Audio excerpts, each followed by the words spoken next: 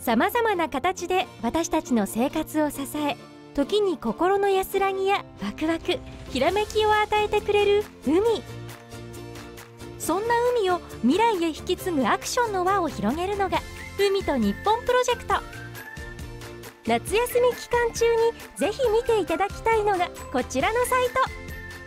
この美しい海岸に神秘的な隠された美しさがあるって聞いたんですけどそうなんですよそれはこの砂にあります。砂？はいすくってみてください。わかりました。砂ですね。親子で挑戦。お家で学べる海の教室。海にまつわる知識が科目別で身につくサイトなんですよ。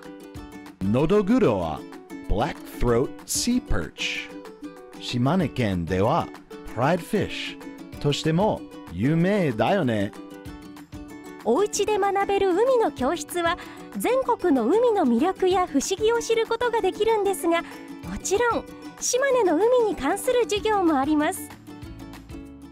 泣くよせーの。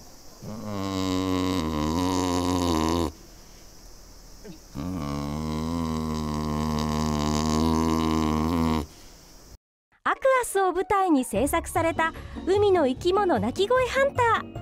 音楽の授業ですはい、それでは今から行きたいと思います。ちょっと大きな声が出ますね。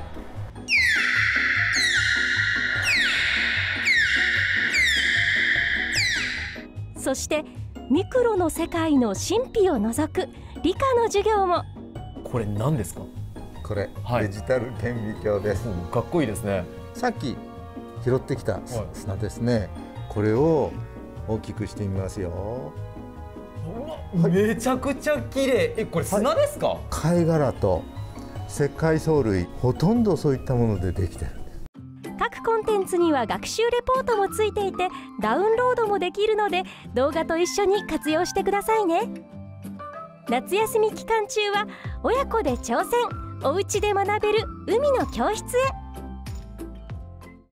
海と日本